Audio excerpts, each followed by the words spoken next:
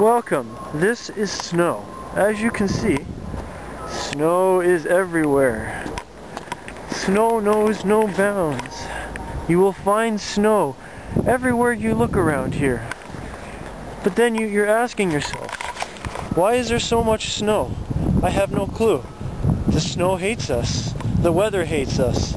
Everybody hates us and gives us snow. Like I said, snow is everywhere.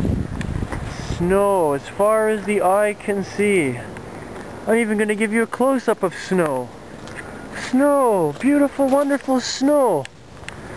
Look! I have made a snowball. Isn't that exciting? Say hello to the snowball. Ooh. We're gonna throw the snowball. We have thrown snow. Here is snow. More snow. Everywhere is snow. Terrible, isn't it? I snow. Do you snow? We all snow for snow. Now, some of you are wondering, and probably asking yourselves, where does snow come from? Well, I'll tell you where snow comes from. Way up in the sky, there's a guy named Bob who has a snowmaking machine. We call him the bastard that likes to dump snow on us.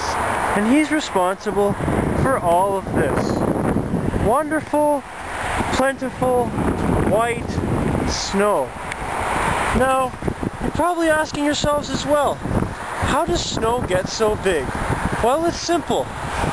All this is due to the fact that when snow falls, much like when people fall, it gets bigger and bigger and it combines and it makes more snow. Why does this happen in such a way, do you ask? Why are we surrounded constantly in snow? What is the point? Is there even a purpose in living amongst snow? My answer for you is, I don't have all the answers.